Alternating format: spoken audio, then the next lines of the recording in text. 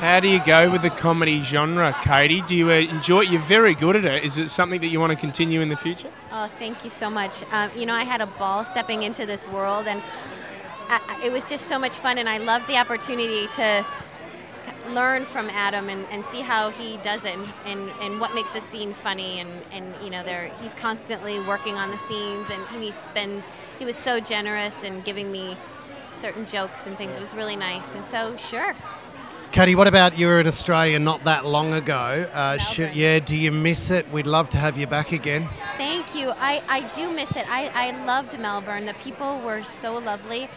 The bakeries were so good. Really? Uh-huh. And the parks were amazing. But it, I have to say, the jelly donuts I had in Melbourne, I still dream about. And I'm not kidding. And I have pictures on my phone I'm s- of the donuts. Well, we, Katie, we do a gardening show in Australia as well. Mm. Just a quick question: Do you get into? Have you got a green thumb at all? Is there anything that you like to do in the garden?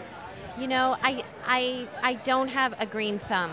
My parents are wonderful gardeners and they design gardens and they buy the mulch and they do everything. I like to go to the flower mart and pick the flowers and arrange them that way.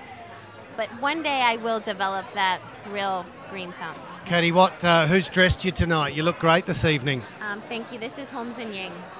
Sensational. Have a good night. Congratulations.